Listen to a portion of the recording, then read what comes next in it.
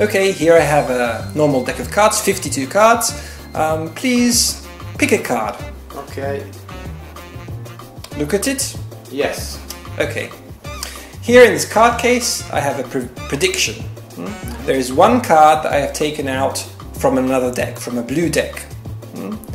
And the card that is in the case is your card, the Nine of Spades. No, no, no. No? No. Not nine. What, what was your card? Jack of diamonds. No. Jack of Diamonds. Fantastic.